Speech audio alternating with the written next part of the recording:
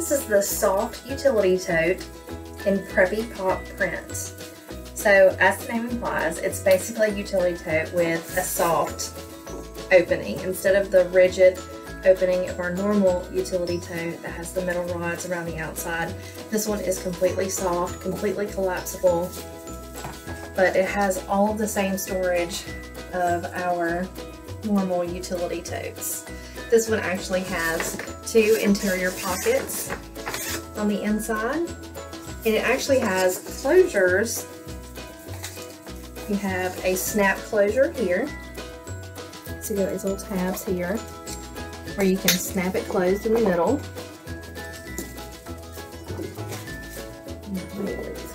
There. Or you also have the option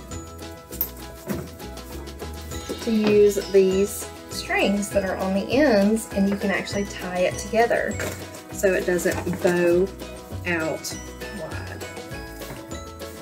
So you can just tie those up.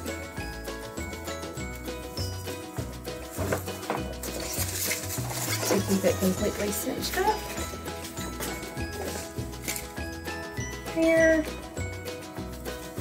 So a couple of different options for holding this one together, or you can just tuck the those cords in and then just use the straps in the snap.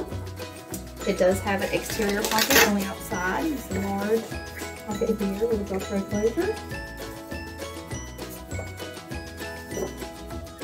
So that is the soft utility tote in Preppy.